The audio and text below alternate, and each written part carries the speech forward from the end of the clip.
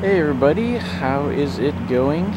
I'm back in uh, downtown Cleveland testing out uh, new newer lens, uh, Zeiss Milvus 50 millimeter again.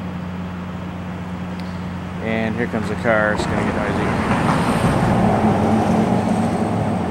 I'm on a bridge and every time a car drives over the camera shakes so if I'm taking a still photo I have to basically call that one ruined and take another one when the car passes and the vibrations in the bridge slow down because they're coming up through my tripod.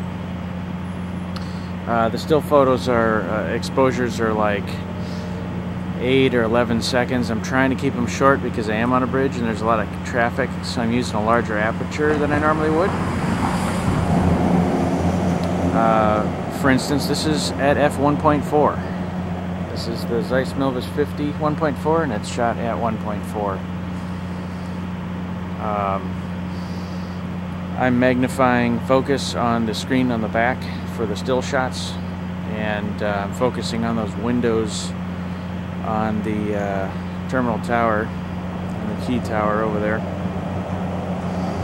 and uh, you can get a really precise focus that way. I magnify all the way in. So uh, can't wait to see how uh, how sharp they are.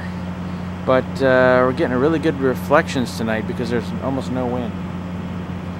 Um, so you see the oh loosen the camera here. You see the reflections in the water. They're really nice. So I'm getting almost a almost a mirror reflection. So that should turn out neat.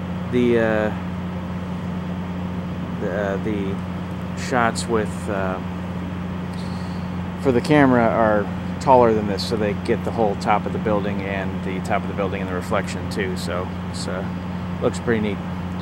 Anyway pretty uh, pretty cool night here in July. Not too hot so I'm having fun. Alright thanks for watching. We'll see you guys next time